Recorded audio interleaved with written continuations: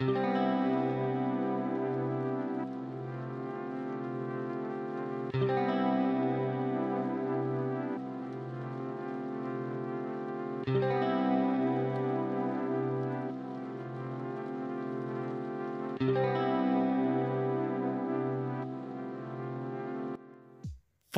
समयको एकदमै चर्चित नायिकाको रूपमा हामीले वर्षा सेवकोटीलाई देख्न सक्छौँ। नायिका वर्षा सेवकोटी हिजो वैशाख नौ गते प्रेमी आशिषसँग विवाह बन्धनमा बाँधिएकी छिन्।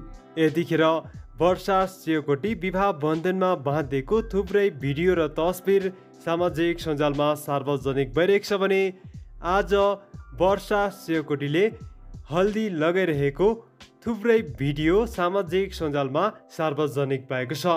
सार्वजनिक भएको भिडियोमा नायिका वर्षा सेवकोटीलाई एकदमै ब्युटिफुल देख्न सक्छौँ भने वर्षा सेवकोटीले हल्दी लगाइरहेको देख्न सक्छौँ।